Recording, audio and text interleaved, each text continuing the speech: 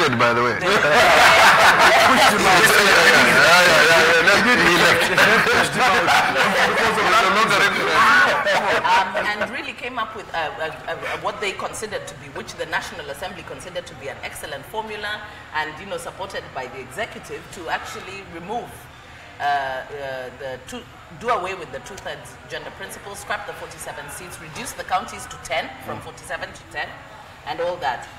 It is to the Senate that we sought, uh, we went and we sought assistance to be able to defend those principles. And Ekwee Ethuro, together with the senators and the governors, actually, we, we, we came together with the women in solidarity. And so even when you look at uh, the debate even around the elections, um, uh, the amendments to the Elections Act, when the country was really teetering Uh, there was it, there was so much uncertainty mm. and there was so much uh, tension about how this thing is going to go. It is the Senate that stepped in and and, and steadied the the, the, the the ship. And I think that the Senate, much as you call it Nyumba ya Wazee, and people deliberately, you know, that is also the narrative that is aimed at continuously demonizing and continuing this narrative of that it is a useless body, it actually should be mm, scrapped. yeah.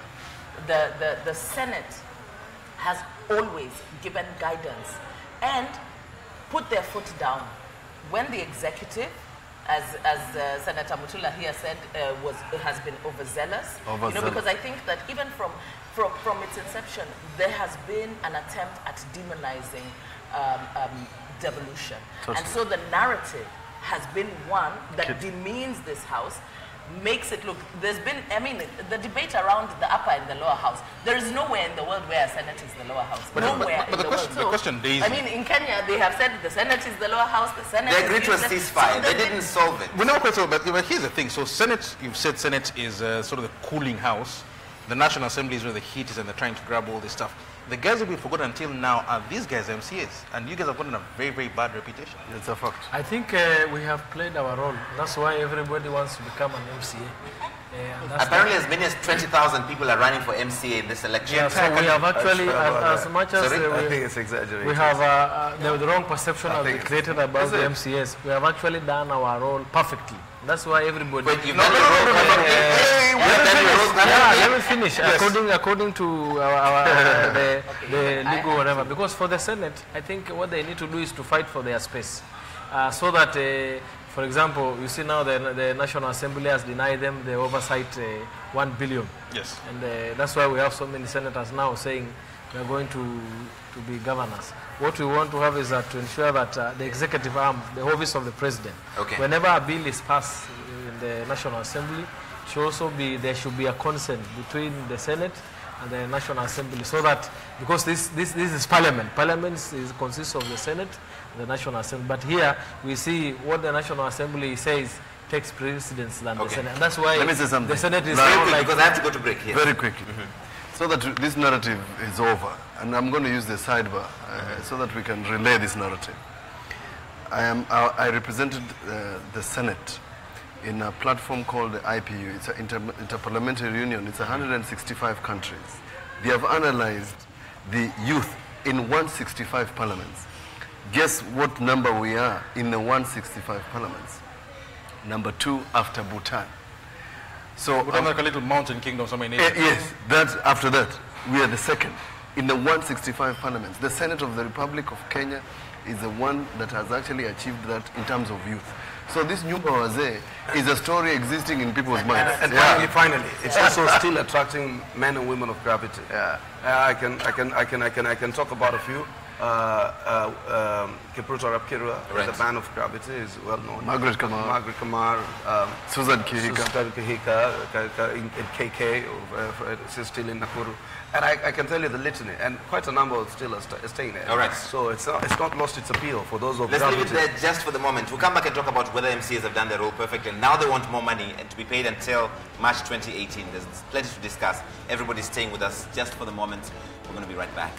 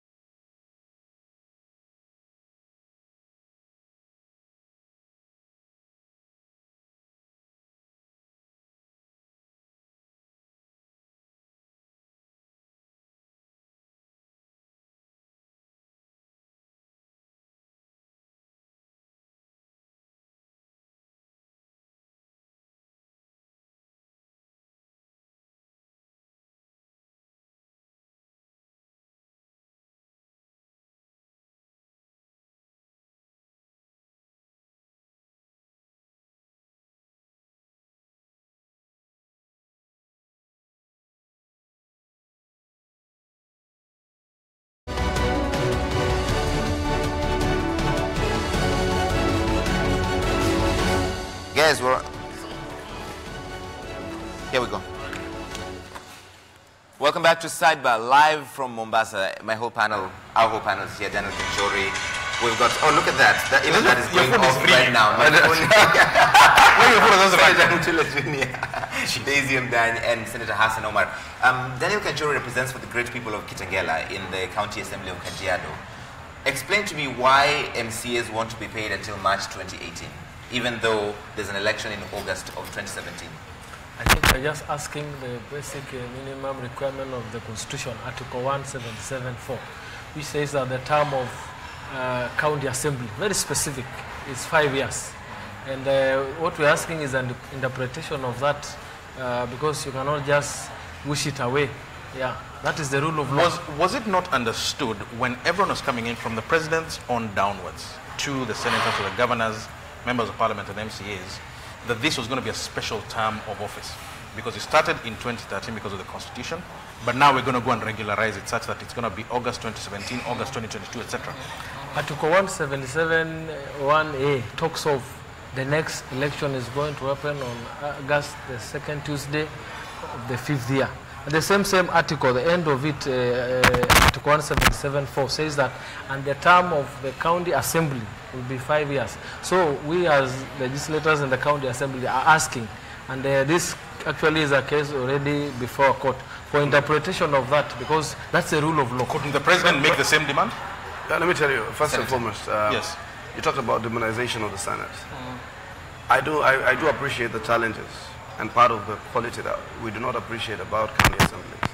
But even in my opening yesterday, I said, if you continue to constantly throw mud at the institution of county assemblies, first and foremost, it then fails to attract good people. And then that culture is not, is not decimated. So that culture remains a culture that appears like ordinary conduct.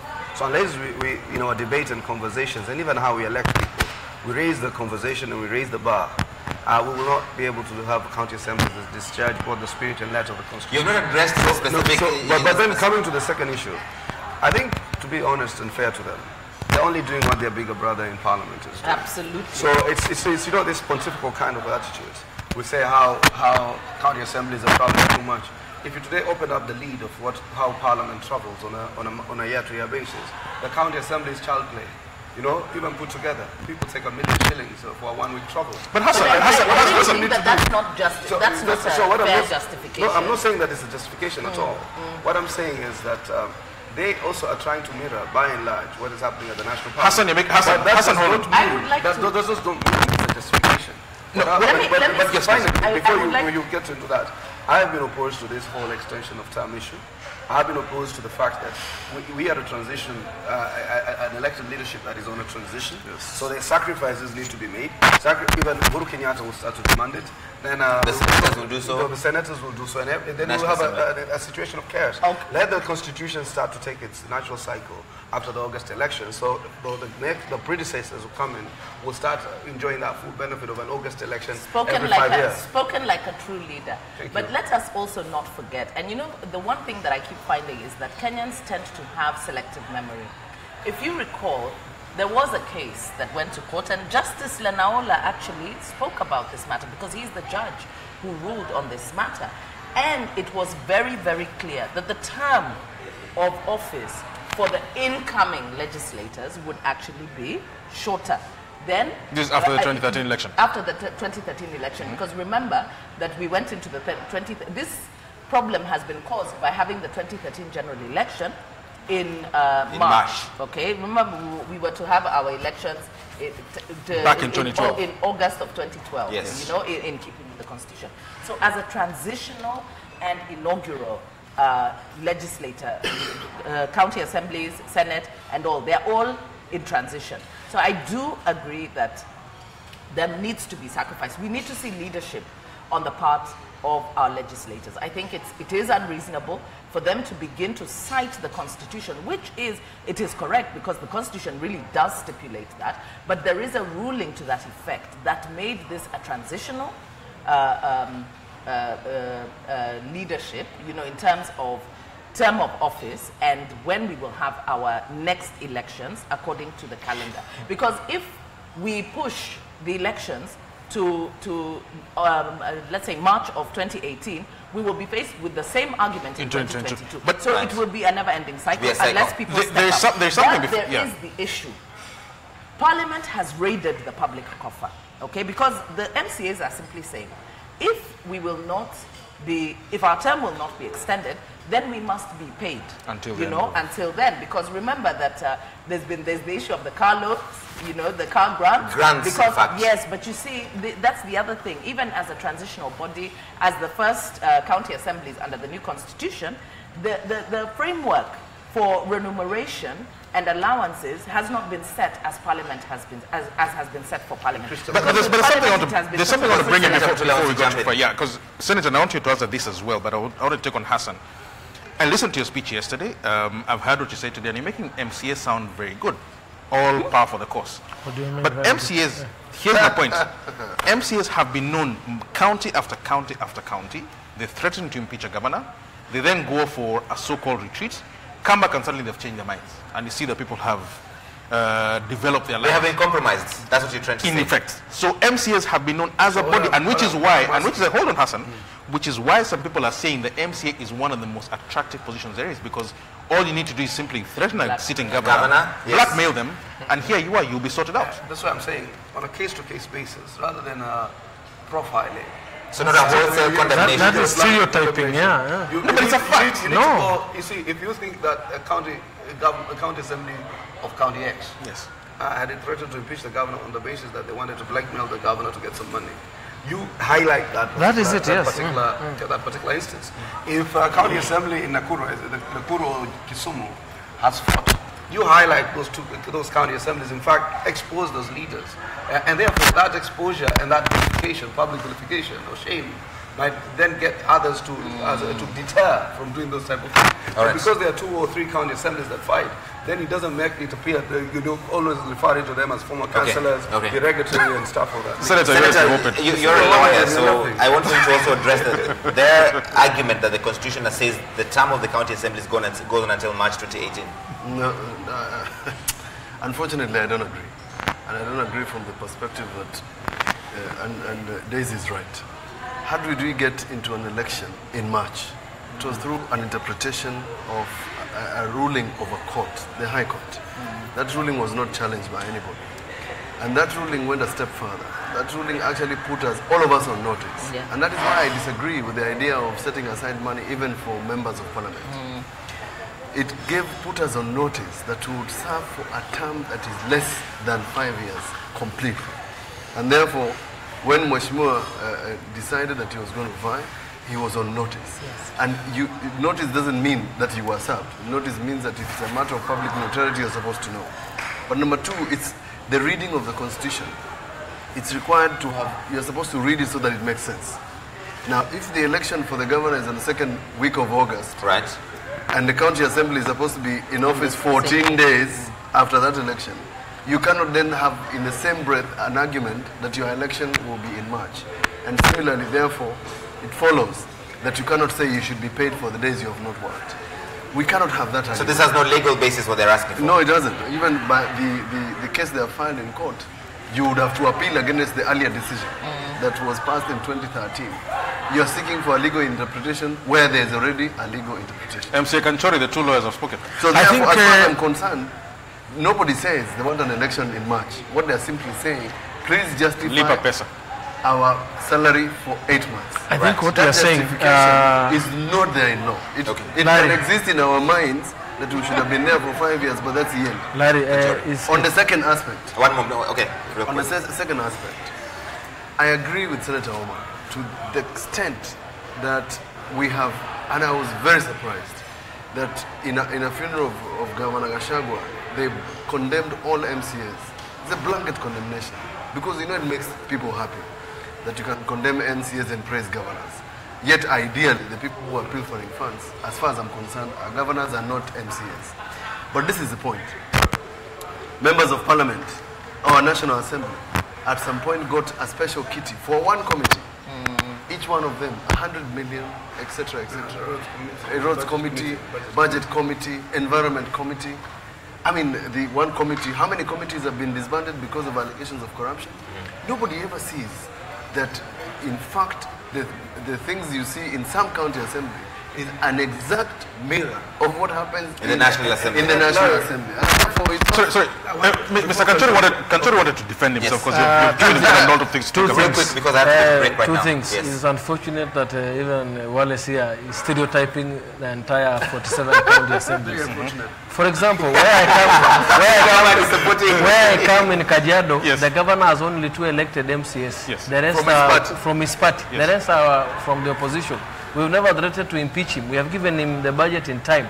We've given him all the required uh, legal framework for him to perform. Yes. So you cannot just say all the assemblies are, are and it comes from my word actually. That uh, every time with threaten governors, that is very wrong. Secondly, we are not saying that the election date be moved. No. no, what we are saying, there is a conflict of laws already here because uh, uh, we, we, we cannot just assume the, the constitution is saying the county assembly goes for a term of five years. And we as responsible legislators are asking, that's why we have gone to court. The last uh, uh, uh, uh, place where you get your defense, we are asking for these matters to be clear so that uh, we don't hear people wanting to move the election date. help you, boss, because when the election, I can help you. And the Senate has not done it. They should have done it very fast because they are the protectors of the devolution. We should have actually been the very first people who have No, come no, to no. the Yes, When, when it Yes. the second week of August in the fifth year, Does it? those, that's it. And, and therefore, The fifth year. In the fifth year, Just that is Article where your five years come from. and Article 4, se- uh, so you 4. can't you Yes. can't interpret the fifth year to mean anything. But the same article, the sec- the same article says Justice for Mutula has spoken. five, five, five months. Justice Mutula has spoken. Yes, real quick. And actually very clear. Let me make it this very Hang clear. on, hang on. We are not saying pay us for the this time. We are saying give us an interpretation of that confusion in the constitution, and that's why we have gone to court. That is yes, Senator, but really quick, we have to go to a break. And, uh, and Yes. what- What else? You guys are, are some of the media personalities I have a lot of respect for. So don't drop the ball. There's a very pervasive culture within the political class in this country.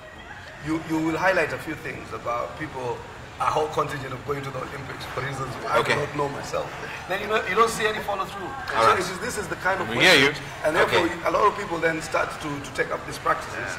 And it appears like commonplace in politics. it appears All like right. commonplace in elected leaderships and elected, elective institutions. Okay, fantastic. I have to take a break. I And, think and don't stop inciting the public against the MCS. We have been elected like any other We leader. agree. We are not son of small gods. So if it is the law, let it be applied to everyone. To everybody. But I'm just So That's- you- that- into a break. The one The National Assembly has actually uh, offered itself. We have not. We are actually just interpret. Otherwise, we'll have also uh, demanded like You Yes, the but- Guys, guys, hold on, hold on, hold on. Daisy, Daisy, hold on.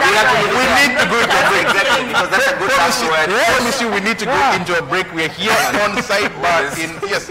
That's Larry, the last word from uh, Yes, uh, indeed. From the Great Bow of Kitengela. The rest of the panel will stay for us for the next bit. Right now, what else are you going to throw to break? Go do it. I was going to go because you see, I can look at a bar behind you on your own sidebar, but uh, yeah, everyone is looking at the bar. Don't worry, there's no barman behind. you. We're on sidebar right here. We're discussing a number of issues. When we come back from the break, we need to look at the doctors' issue. Yes. Is a government acting in good faith when it comes to the doctors' issue? Still have most of our panel here. See you on the other side.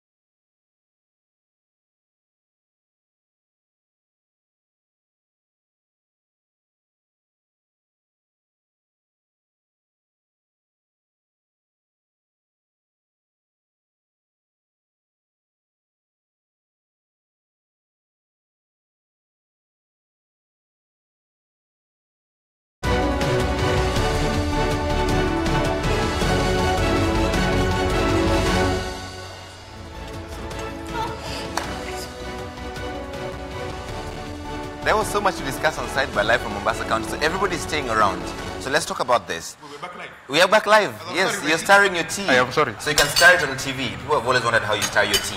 anyway, Dr. Nil- Nicholas Muraguri today is sending a statement to the governors countrywide and telling them that they are not obligated to pay the doctors for the 100 days that they were on strike. But he's obligated to return the money he's taken. but anyway, just go ahead. Senator Mutula Kilonzo, mm. Can he do that? Can governors No, do that? He can't do that. Let me tell you why. One of the one of the things that stalled the return to work formula. In fact, on the day we were supposed to make the press conference, there was a delay of almost three hours. And what was the delay? Because the doctors were told by the governors that they will not be paid for three months. And in the return to work formula, it is very clear that no doctor will be victimized whatsoever for whatever reason. And therefore, what Muraguri has done is go back on his word. In fact, what I told Wachu, the chairman of the Interreligious Council, and Bishop Rotich, because when I told him that the government must sign as a commitment, he said, Why don't you let me, Senator? Let me, leave this to me. I give you my word. I said, Your word can go, will take us nowhere. But when they finally append the, uh, the signature to the return to work formula, the same person who sat in the press conference and signed on the return to work formula now issues another directive. The second issue is this. What is Muraguri's role in the Council of Governors? Is just an ordinary PS seated in Nairobi. He has no role to direct a government to begin with. He has no role to direct a council of governors. This man has an ego as big as this country. We must tame him, and I must tell But you. are you saying that he's acting on his own behalf? Because that He's acting in bad faith. no, no, no, no, no, no, the bad faith, the bad faith is accepted, but is he acting on his own, on his own behalf? Because was- who he must be acting on behalf of the central government. Whoever he's acting, Whoever on is acting on behalf of. Mhm. Because remember that this was a negotiated settlement. Yes. So the government, by going National government, he that is. He Yes. is obviously a government officer. Yes. So we don't want to imagine that he's acting on his own. He's uh, obviously acting uh, under and- some kind of instruction. and the reason- But but but hmm. worse for me, I think, in this whole Dr. Saga is that nobody is taking responsibility because even for him to act in such bad faith, Faith. you know, in the face of the tragedy, you know, because they've talked about the, the, the, the cost of human life. Mm-hmm. So now this is an exacerbating factor. Yeah. This is now going to bring added tensions after everybody has gone out of their way yeah. to bring this situation to a halt. And everybody, there was relief. People even prayed. They sealed the deal with a prayer. With a so, prayer. I think that it's bad faith on his part and on the part of whoever instruction cabinet he's working at. Let- let- But also and- that the and- and all government, I think that the president should, at, at the very least, ensure that officers acting on behalf of the national government do not go contrary to what government has agreed on. Because government really should be seen to honoring its word. Because at what point then will people Believe government. government when government appends its signature to anything? All right, Because that's let me- a let me say- let me say document. I mean, that, that's unacceptable. Look, governments must know that the minute uh, they get out of uh, any collective bargaining uh, situation, which is apparently happening to teachers, which is apparently happening to lecturers, it's happening to the doctors, it's happening to the nurses, the obligation does not rest mm. once they, they have gotten these people back to Back work. to work. You know, it appears it's a government that is weak need. It's always short term in its objective. Yes. And then I, I also want to be up now to, to, to, to hold some of these public officers to account. The reason the strike also was prolonged for about 100 days is partly because of Dr. Muraguri. Yes. The, the, the, the showdown he had with Dr. Milo. Yeah. So this, the, you, you go and he's still in patronize, you, you go and a- a patronize everything. that we must And after we've ask. gotten our doctors back to work, you're trying to get them back. But guys, in, in all fairness, hold, hold, hold, hold on, so hold on, everyone. In all fairness, Dr. Muraguri is not here, so he cannot defend himself. I want, he to, I want to, doesn't- no, but hold on. I want to ask, I want to He doesn't ask, need to. I want to ask a different question, which you're free to sort of uh, cobble together what you're about to say. Who wins in this situation where the government seems to be acting in bad faith? Uh, Who wins? let's- let's- You should be asking a different question. Who loses? No, we know who loses, but Yeah, who wins? yeah. Because there must be someone No, who wins for someone to come and say, Dr. Muraguri No, and his boss do not go to public hospitals, my friend. Now, you are, we are in a situation where the doctors went to court after a document was signed by a fellow who turns around and says, oh, by the way, I was not in office when I was signed this document. The court then rules in their favor. We then go back and change everything else and they agree, let's rewrite another document. He then now goes back. And then in the process, you've forgotten Larry to ask the question. we go to Tanzania and look for Uh, 500 doctors. daktari kutoka So, tanzania so the Kenyan Medical Practitioners Dentist Union, before we jump in here, has said that these 500 doctors, um, we should we don't need to be importing 500 doctors when they're unemployed Kenyan doctors, but also it goes against what the return to work formula agreed. Yes. Is that true? It's a fact. Because as we speak, there are 200 doctors who have been on queue since November 2016. There are 1250 who are supposed to complete their apprenticeship and then be hired in the course of the year. The return to work formula had proposed that they would be hiring 1200 doctors per year. So you ask yourself the question, if this was an issue when they were discussing the return to work formula and they were discussing the collective bargaining agreement, which is supposed to be signed in 60 days, did they disclose Senator Hassan Omar has said something called bad faith. When you're negotiating a settlement, the lawyers will tell you that you must come on the table with clean hands. Absolutely. You can't sit on a table and you're hiding cards. That you're telling him, sign here, I'll sign your CBA after 60 days. But meanwhile, Let me go Mailu and Governor Aguma are flying to Dar es Salaam to go and sign documents in Kiswahili. It's, it's unacceptable. I think uh, said this week. State House justified this 500 doctors deal. This on Sunday actually, Manoah Esipisu said that the Tanzanian doctors are cheaper because they're not, they're not being paid a pension, they're not paid all those other statutory benefits that Kenyan doctors receive. So overall, they're cheaper. uh, Larry, let, let me, let me just come. That's chip even worse. One, uh, you're actually wanting to bring in people. I think Hold- uh, hold on And let- violate- let- we must first thank uh, His Excellency the President for uh, bringing this drama of doctors to an end because to us, because we are the one who have these doctors, because health is now devolved. It's devolved. it's It was actually wrong in the first place for these doctors to go and uh, strike in Nairobi. They would have done that in our previous counties because now health is actually one of the devolved function. The, the big issue So with these doctors, argument that the doctors should not have been going the, the big Nairobi? issue with these doctors is not even about salaries. It's not about being paid. They want to go back to the old regime where they are controlled under Afya House.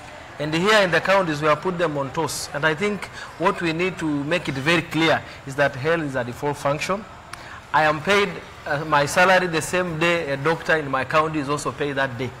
So there is no issue of delay of their salary. If my salary delay, Mr. Kanchuri, there is also Mr. delay. Let me finish. Let me Yes, finish. please. Uh, uh, And he's being also the chairman of the health committee. Yes, yes, county and we are the one who know the mess these doctors have been doing. There are do you mean? doctors who are operating in Nairobi. They have never stepped to a clinic in the remotest part of Kajiado for the for the since independence, and they have been paid the salary all that, that- time. I don't agree, Uh, I, I, I have, I have, I'm Mr. Speaking the from question- experience. the question is this, you have said you- so the big issue here of the doctors Yes. is purely about uh, trying to go back. But Mr. is. Kanchuri, you have Yes. thanked the president.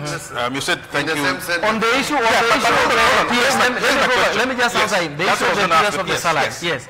Yes. It's, it's not Muraguri who is paying them the salary. It is the county government. so for Muraguri, he can only speak for those in the national referrals. But for the counties, I think it- it's, it's just making. are you going to pay salary? uh, it has no legal effect. No, But will you pay the salary for the Government of days? Kajiado pay the government for the hand for the doctors. we, we will deal with our doctors as Kajiado No, County. but will you? Yes. You sit, Will you you sit right pay? now. You're chairman of the health committee. Will you pay for the 100 days on strike? Those who will come back, those who came back when they were required, they are going to be paid. When were they required? The deadline. There was a deadline for them to come. In fact, those who have not come, most of them will be sacked. Larry, today I want And, to make uh, a very painful statement. Huh?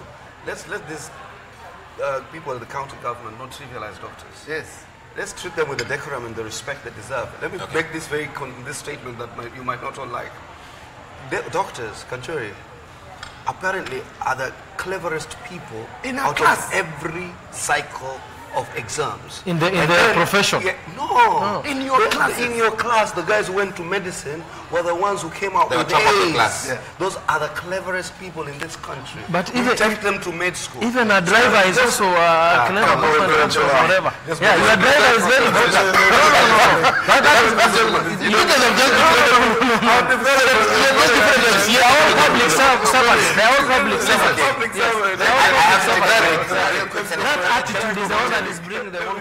When, when, when we were We are not disputing Listen, that. we were in the same What class. what we were in the same class with uh, with him. Yes. Our friends Kinam Chana, Dixon Chana, who yes. got A's.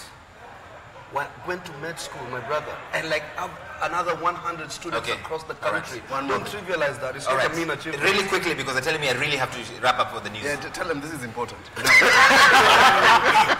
Let me tell you.